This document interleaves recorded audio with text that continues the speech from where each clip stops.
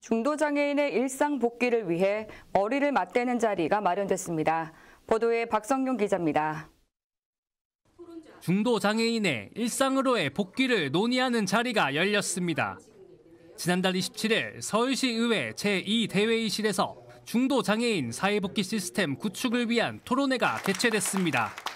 보건복지부에서 발표한 2017년 장애인 실태조사에 따르면 장애인의 88%가 중도 장애인으로 조사됐습니다.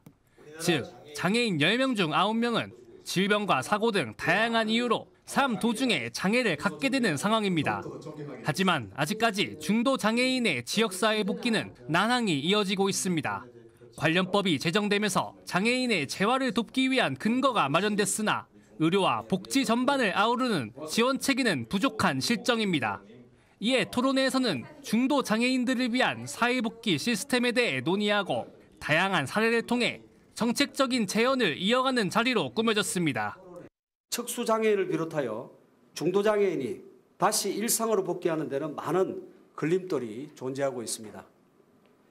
소득 보장과 사회 서비스 등 필수적인 지원은 물론이거니와 다양한 영역에서 지원들이 이루어져야 합니다.